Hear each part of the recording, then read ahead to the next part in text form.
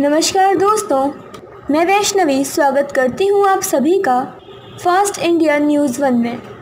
आइए देखते हैं आज की कुछ मुख्य खबरें।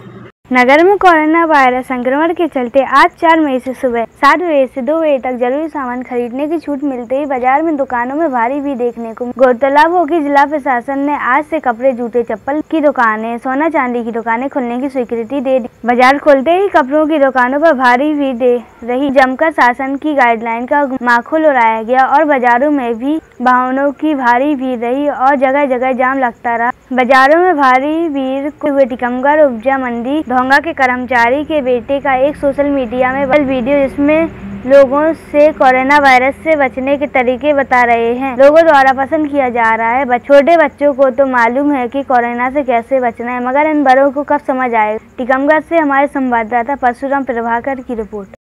किए हुए टिश्यू को तुरंत ढक्कनदार कचरे के डब्बे में डाल दें। अपनी आँख, नाक और मुँह को हाथ से ना छुए। अपने हाथों को समय समय पर साबुन और पानी से लगभग 20 सेकंड तक धोएँ। भीड़ भाड़ वाली जगह पर जाने से बचें। अगर आपको खांसी, बुखार या सांस लेने में तकलीफ़ हो तो आपको कम से कम एक मीटर की दूरी बना लें ऐसे लक्षण देखने पर तुरंत अपने डॉक्टर से सलाह लें। अस्पताल में अपने मुँह पर मास्क या रुमाल ज़रूर रखें। अधिक जानकारी के लिए स्वास्थ्य की हेल्पलाइन है।